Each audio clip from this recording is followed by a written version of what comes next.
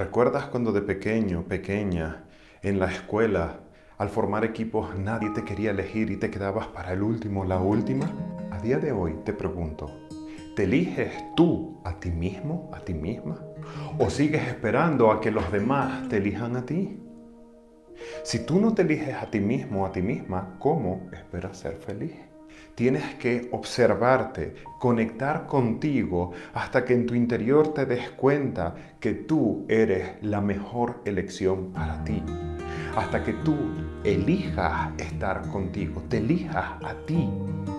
Y no porque eres la peor opción o la última opción, sino porque tú eres la más maravillosa elección para ti. No para los demás, solamente para ti. Así que recuerda, yo soy la mejor elección para mí. Me elijo.